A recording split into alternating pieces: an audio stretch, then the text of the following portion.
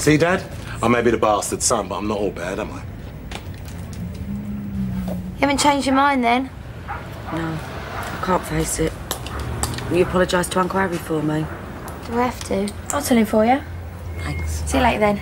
Wait for me. Why should I?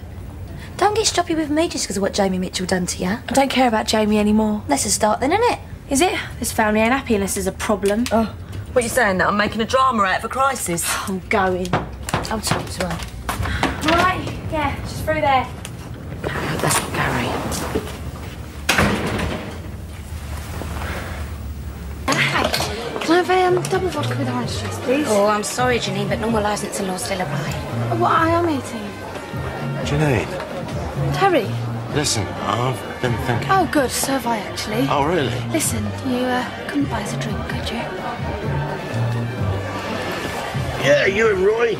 Welcome. I was never one for Spaniards. Terrible drivers, aren't they? Was that Italians? All as bad as each other.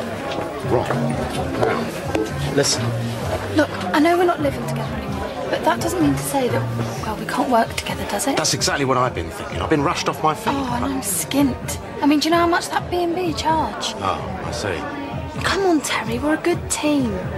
We need each other.